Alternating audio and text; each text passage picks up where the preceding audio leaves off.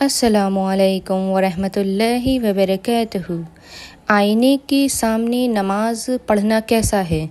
देखिए, अक्सर कार्डबोर्ड में मिरर अटैच्ड होता है और कोई घर का दरवाज़ा ऐसा होता है जो कांच का होता है या किसी वॉल में बड़ा मिरर लगा होता है और उसके सामने नमाज़ पढ़ने वालों को अक्सर कन्फ्यूज़न रहता है कि मिरर के सामने नमाज़ होगी या नहीं।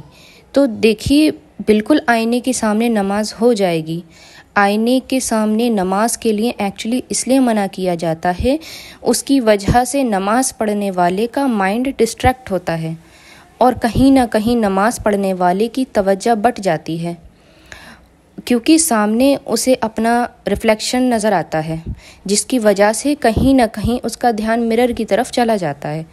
तो एहतियातन आप मिरर के सामने नमाज़ ना पढ़ें या मिरर के ऊपर कोई पर्दा लगा दें। अगर आपको डर है कि आपका ध्यान बट सकता है तो फिर आप एहतियात बरतें।